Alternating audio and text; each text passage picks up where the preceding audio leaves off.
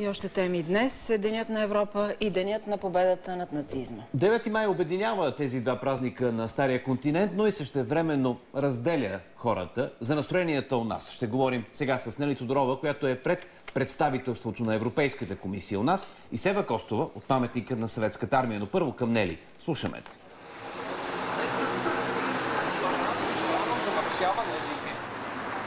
Добър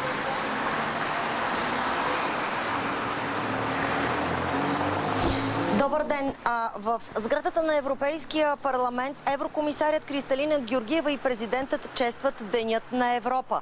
Преди това двамата присъстваха на издигането на европейското знаме пред президентството. Но преди това Денят на президента започна с честването на смъртта на онези българи, които са загинали във Втората световна война и отбелязването на 70 години от победата над фашизма. Държавният глава беше категоричен, че историята трябва да се прочете такава каквато е, да не се опитваме да отричаме миналото и да търсим преразказ на различните а, исторически факти, които са се случвали, за да внимаваме за напред как ще живеем живота си. Вижте още какво каза държавният глава. Днес кошмарите от миналия век изглеждат още по-заплашителни. Все повече политици в Европа залагат на деструктивни послания, разчитайки на вътрешно-политически успехи. Вълната на националистически партии, на агресивна риторика залива отново Европа и ние сме длъжни да припомняме до какво доведе тази идеология.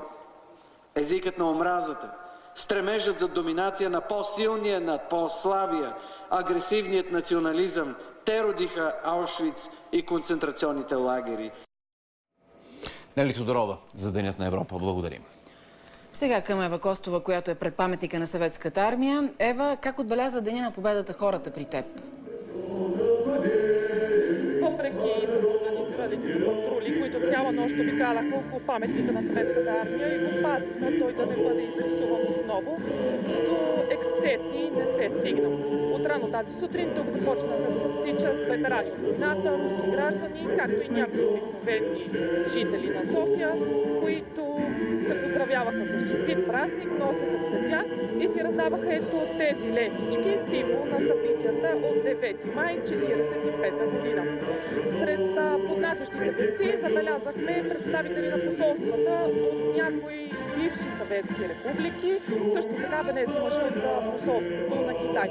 В момента за мен виждате вече тече тържествената част, която започна точно преди един час с тържествен молебен. Веднага след него беше дадена думата на председателя на БСП Михаил Миков. Какво каза той? Нека чуем.